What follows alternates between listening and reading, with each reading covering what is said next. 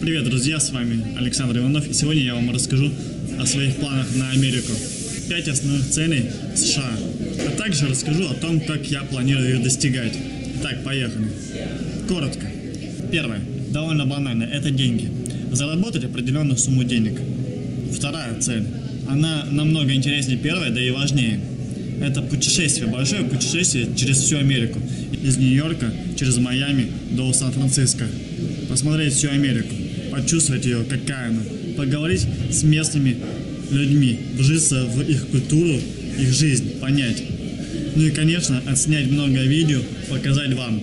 Третья цель – это подготовиться к путешествию, а именно прокачать э, свои навыки в видеосъемке. В съемке, в монтаже, в спикинге. Так, чтобы получилась хорошая картинка. Для этого мне нужно снять 28 роликов на личный канал на YouTube. Это два видео в неделю. Поехали дальше. Третья цель, самая главная для меня лично, это нарисовать 42 портрета, либо аналогичных по сложности работы графических. Это три портрета в неделю.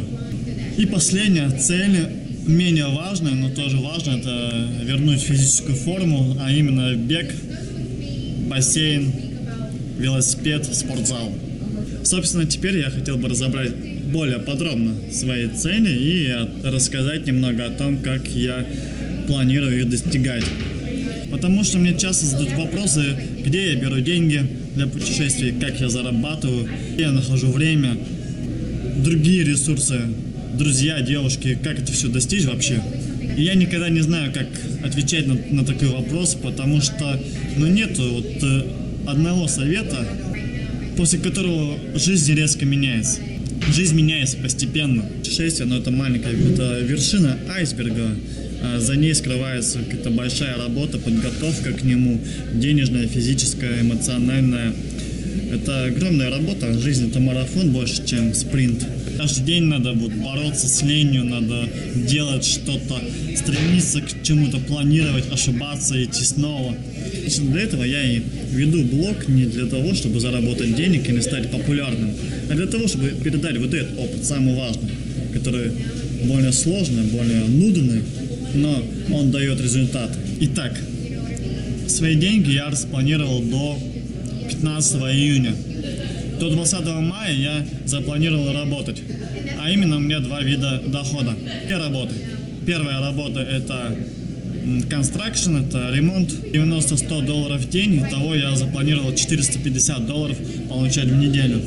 Вторая работа, работа в ресторане, в ночь субботы на воскресенье обычно, и заложил я 150 долларов в день. Также я посчитал все расходы. Это самое важное, считать все свои расходы. 15 долларов это свой дневной расход на еду и бытовые вещи.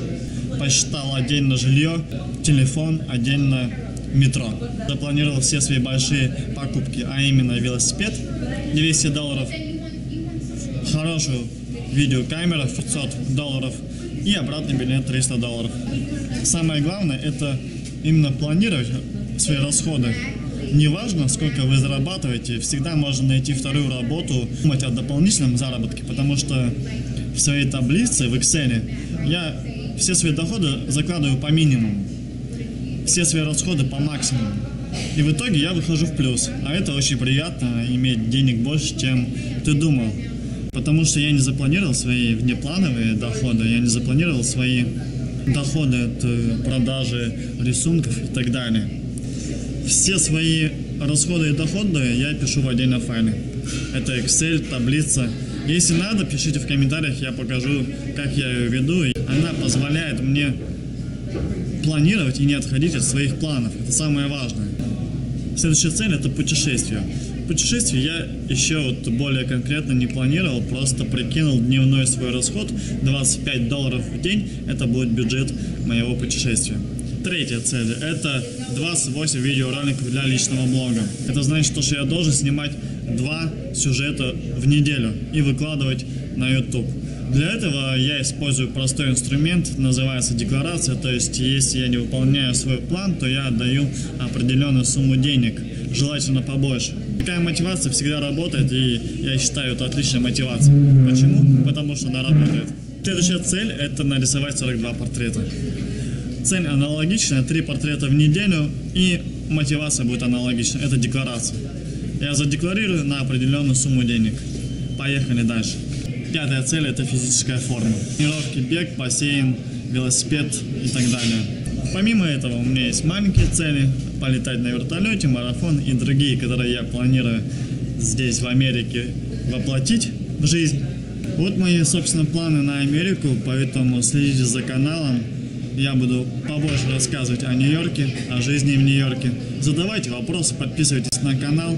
С вами был Александр Иванов. До скорых встреч.